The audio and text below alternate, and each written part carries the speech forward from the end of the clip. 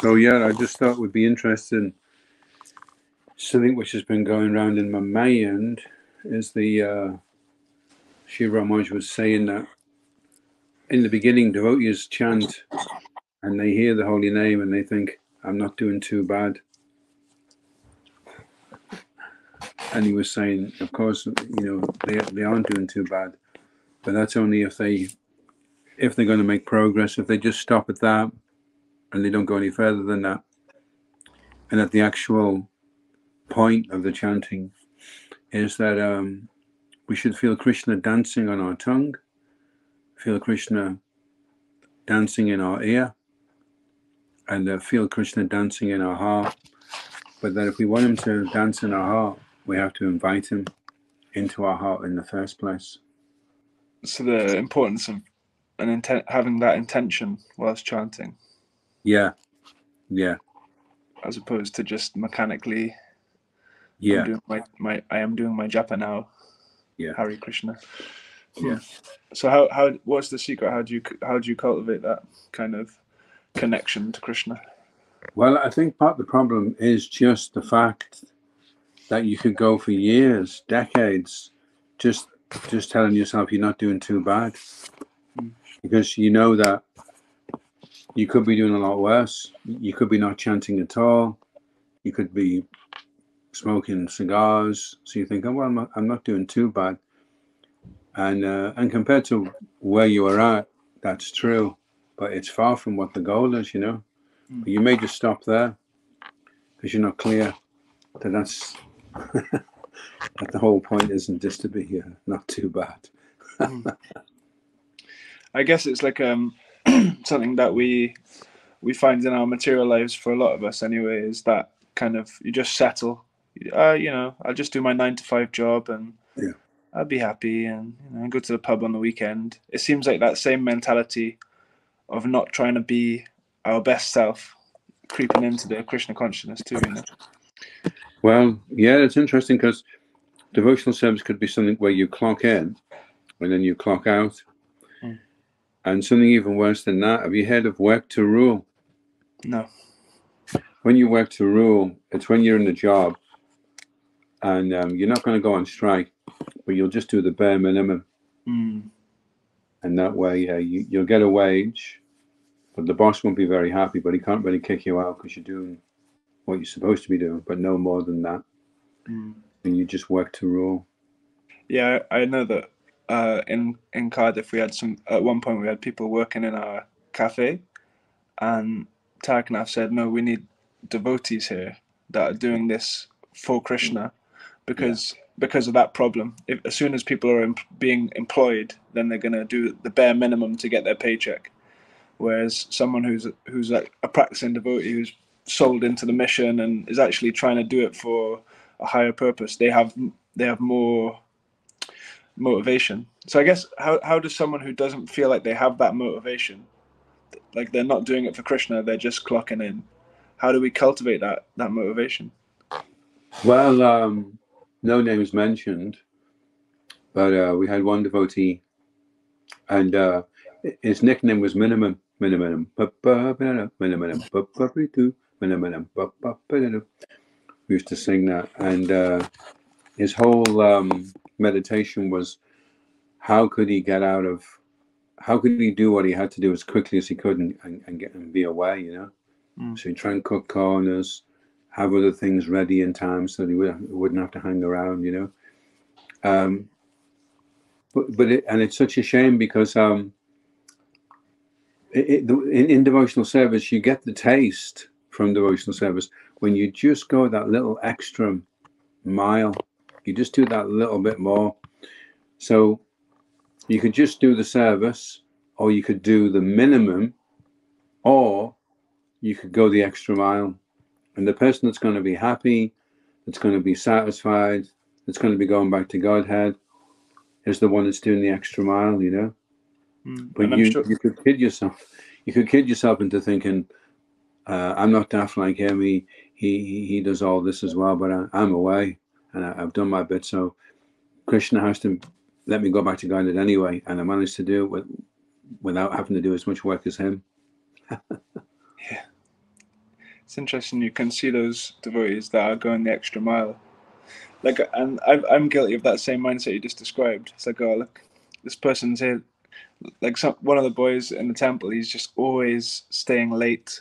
Like he's just doing cooking all day for the deity. Stays late, washes the pots, like takes his time. He makes sure when he washes the pot, they are sparkling. And I, my mind is like, this guy, you know, you, you know, you could do, you could cut a corner, and you know, you could, but he's he's you know an exalted personality. Like. And then uh, apply that to chanting, you know, because mm. you're gonna um, you're gonna have to chant 16 rounds anyway. Mm. So to go the extra mile is with your chanting is to start really thinking, you know, am I am I chanting this with the right attitude? Um, am I am I actually chanting this to please Krishna, or am I chanting this mantra just to please myself? Mm. I'm thinking like because um, my it would be lovely to have that extra mile mentality towards Krishna consciousness, um, and I, I believe I had it at some point in the past but incrementally I've moved away from it. Is it a, is it a matter of incrementally moving back towards it, or can you like take take a yeah. pill and suddenly be? well, if you if you try if you try to become a sannyasi straight away, then that's not going to work. Hmm. So um, self realization is, you know, you figure out what it is, what is an extra mile for you, hmm. and what is something that you can that you can maintain, you know, something which is sustainable. And uh, yeah, it was just funny. I was chanting today. I chanted some extra rounds because it was my day off, and I was chanting, and, and um, I thought I should chant. Rupa Goswami says we should we should be enthusiastic, so I should be enthusiastic. So I was chanting enthusiastically, and I was thinking he also says we should uh, have confidence, so I should chant enthusiastically and confidently. And then he also says we have to be patient. Okay, so I'm, I'm enthusiastic here. I'm chanting with confidence, and I'm not pushing Krishna to come up with any bliss or any profound realization or anything. I'm just happy to be doing this, and we'll, and we'll just leave it at that. And if Krishna wants to step in, that's up to him, and if not, then that's also okay. So I was chanting like that, and then we need to follow the regular principles Kirtanam, Shravanam Kirtanam, Vishnu Smaranam, abandoning association of non-devotees, and then following the footsteps of the previous acharyas. So there's six really powerful um, attitudes and intentions you can tune into whilst chanting. And it's amazing because the my chanting immediately changed because I, I was thinking you never see anyone doing something enthusiastically slowly generally. Generally, if someone's doing something enthusiastically, they're, they're doing it um, quite quickly. And so if you're chanting Hare Krishna, Hare Krishna, Hare Krishna, Krishna Krishna, Hare Hare, Hare Rama, Hare Rama, Rama Rama, Hare Hare, Hare Krishna, Hare Krishna, Krishna. And there's some drive there, there's some rhythm there. And you're excited, you're happy to be doing it. So it's totally different chanting enthusiastically to just chanting because you've got to do this. And, uh, you know, you're doing, you're doing not too bad. Hmm. That's a really um, interesting like approach to applying those nectar instructions specifically to japa. Mm. It's, uh, it's, something I wouldn't have personally thought about mm. connecting. But yeah, that those would you say the the uh, the items that are unfavorable also apply to japa? I'm trying to think of them off the top of my head.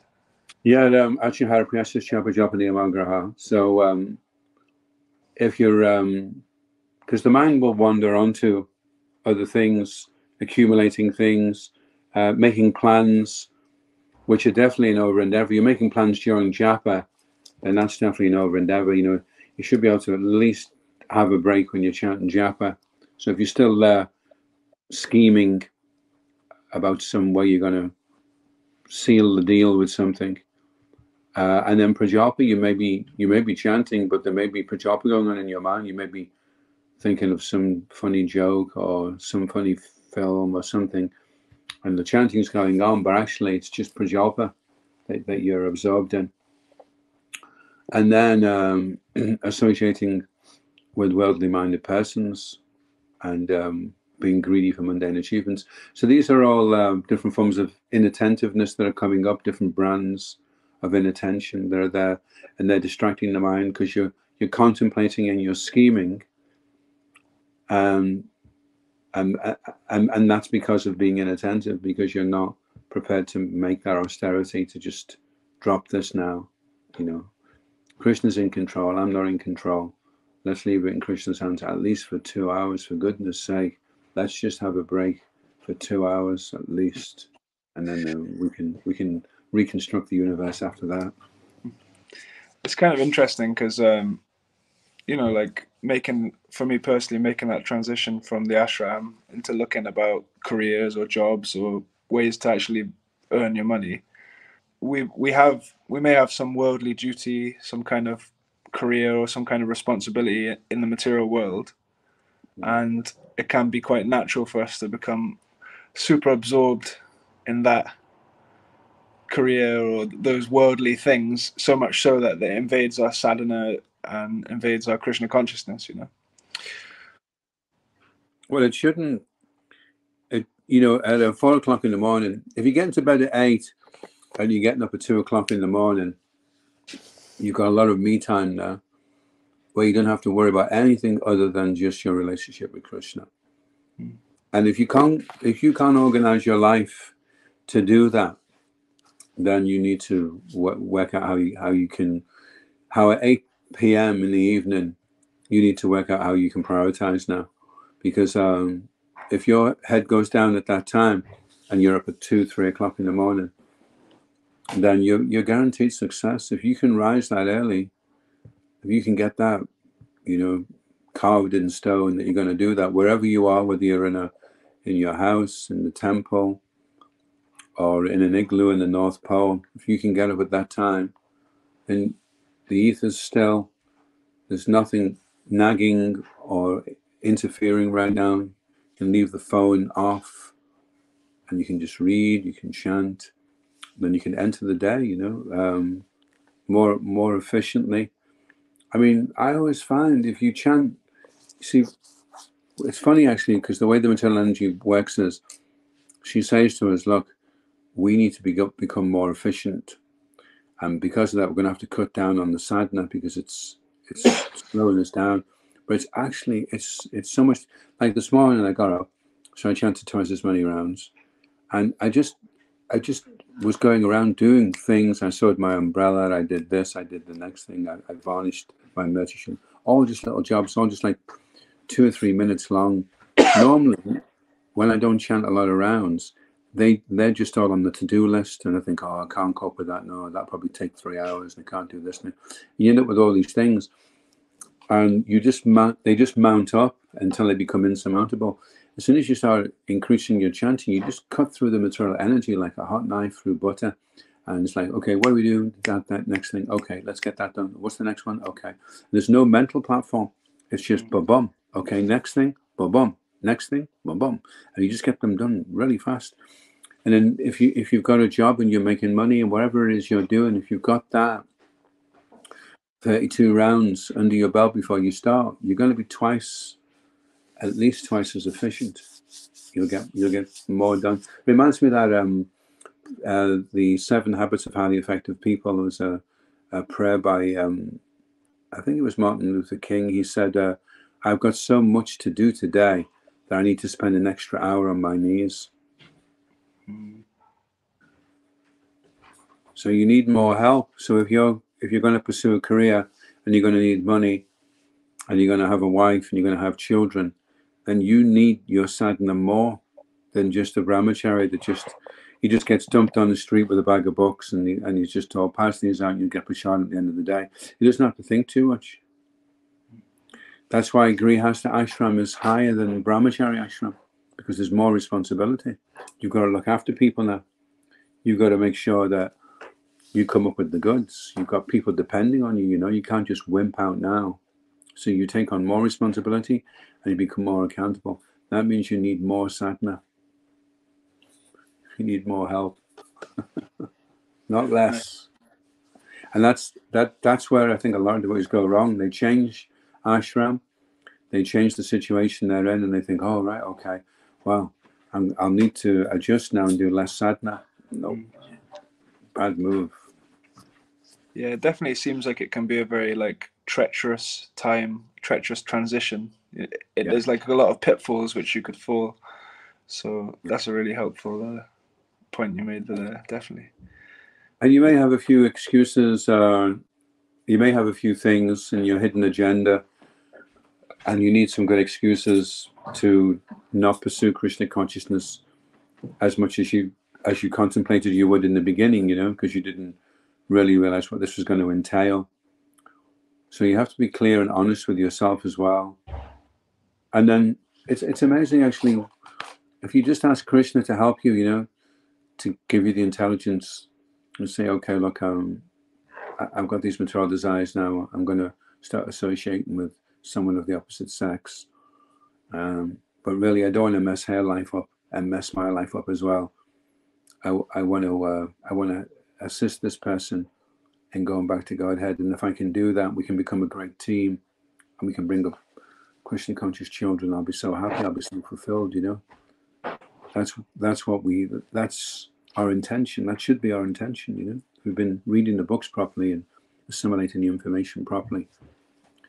Uh, and then Krishna knows at the same time that we're frightened, that we're affected by material desire, that sometimes we lose faith, sometimes we have doubts. He, he knows all these things. So if we go to Krishna with all that, all that darkness that we've got in the heart, then Krishna Teshame Mevana Kampatam to show them special mercy.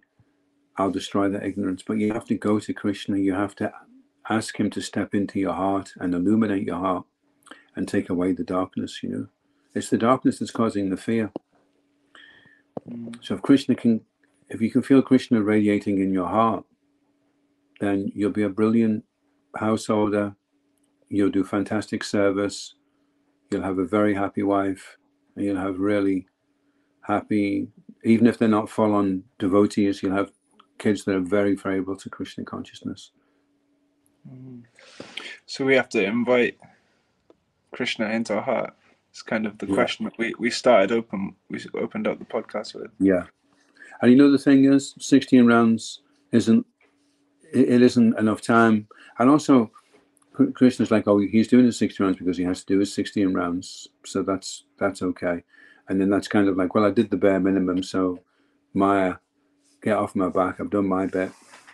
Krishna, you need to to uh, make me feel blissful now. I've done my 16 rounds.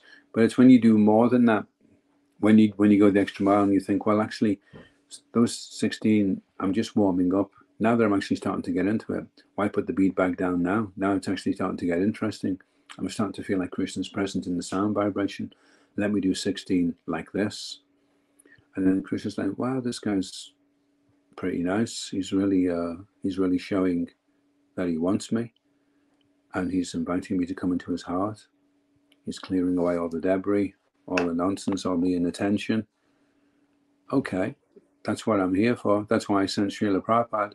That's why I came as Lord Chaitanya. That's why I sent Srinivas Acharya, the, the Goswami is Bhaktisiddhanta Saraswati Thakur. Just write the books and I'll take care of everything else, Krishna told Prabhupada. It was Krishna that pushed Prabhupada to come. Mm. Prabhupada didn't want to come. Krishna said, Look, you go. Krishna got a whole plan. He wants us back.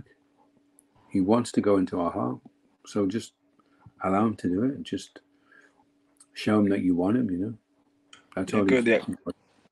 Go the extra mile. That's what we. This is kind of the theme, isn't it? Like, Yeah. that's a good meditation for us now for the next week. Is just think about that. Okay, how can I go the extra mile? How Yeah. can I get some more rounds in? How can I get some more reading in? Let's let's Keep try and chant, chant an extra few mantras here, a few mantras there.